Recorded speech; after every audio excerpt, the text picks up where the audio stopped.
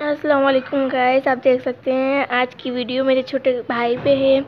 ये उसकी बचपन की पिक्स हैं और इसका नाम अरमान ख़ान है और ये सेल्फी मास्टर है। और ये देख सकते हैं, इस, ये भी इसने पॉज बनवा के सेल्फी लिए। और ये दरअसल हम सब के लिए ईद की शॉपिंग करने गए हैं, अपने मम्मी पापा के साथ। तो जो हमारे लिए ईद की शॉपिंग करके लाएँगे, वो यकीनन मैं आपको शूट करके दिखाऊँगी। और आप ये देख सकते हैं कि मोर पहुँच गए हैं। और ये भी फ़िलहाल कर रही हैं। ये भी अपने बाबा के साथ यहाँ खड़े हुए हैं।